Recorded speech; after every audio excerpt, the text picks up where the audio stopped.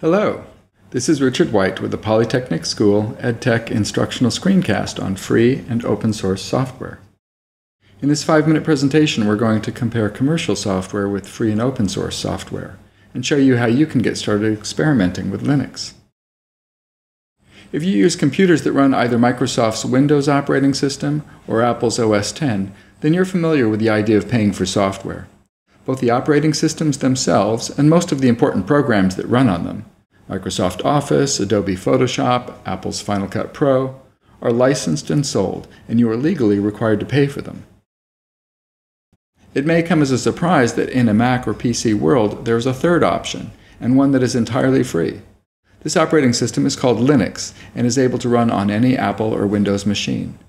Most of the software written for this operating system, web browsers, email programs, word processing, and spreadsheet packages, is free as well. The free philosophy actually distinguishes between two different kinds of freedom gratis versus libre, although it's easier to use the terms free and open source. Gratis means at no cost. Software that is free means that you can get and run the software without having to pay anything for it. Software that is libre, on the other hand, is open source in that a programmer can see into the source code, modify it, and even redistribute the code under certain conditions. To help identify the subtle difference between these two, people sometimes distinguish between free software and open source software with two phrases. Free as in speech refers to the open source aspect, because you are free to express yourself via rewriting and redistributing the code. Free as in beer refers to the no expense aspect of the software, although critics note that beer is rarely free, so this doesn't make as much sense as it might. When people hear about Linux for the first time, there are usually a lot of questions. How can this be free? How can something free be any good? This can't be very popular if I've never heard of it. The philosophy and a lot of the code behind the free and open source movement is courtesy of Richard Stallman, who strongly believes that computers and software should be free of any commercial restrictions. Linus Torvalds wrote the Linux kernel, which is at the heart of the Linux operating system, which runs most free and open source software. Although Linux has many strengths and in fact is the dominant operating system for web servers, it isn't nearly as popular on laptop or desktop machines.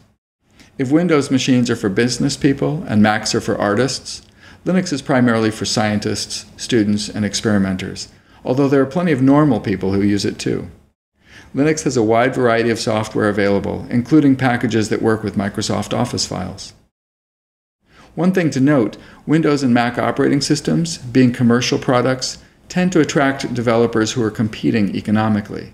As a result, both Windows and Mac software tends to have better interfaces and usability, especially where editing audio and video media are concerned.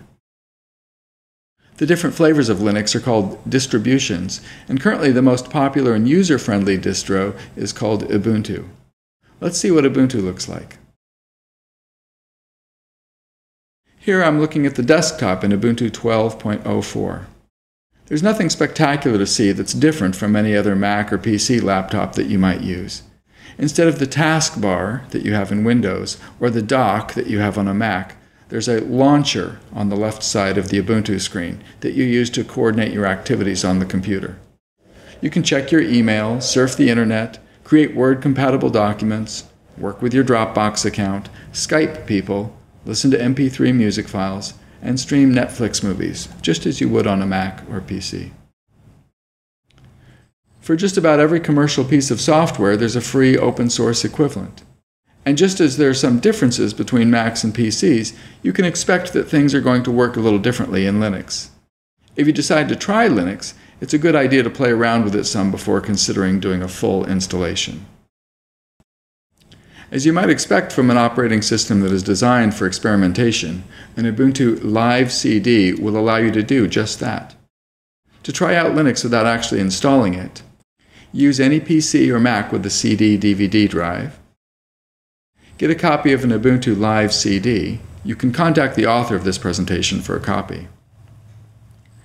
Insert the CD drive into your computer and restart the machine so that you're booting from the CD. Your machine will take a little longer to boot than normal because it's having to load up the operating system from the CD rather than from your hard drive. When Ubuntu launches, don't click Install. You're probably not ready for that kind of commitment just yet. Try launching a browser and surfing the internet, or creating a document in LibreOffice. Ubuntu will run more slowly than it would if it were installed on your hard drive, but you'll be able to get some idea of how it all works. This presentation has been a brief introduction to free and open source software. If you have any questions or need assistance, please feel free to contact the narrator at rwhite at polytechnic.org. This has been a Polytechnic School EdTech instructional screencast by Richard White. Thanks for watching.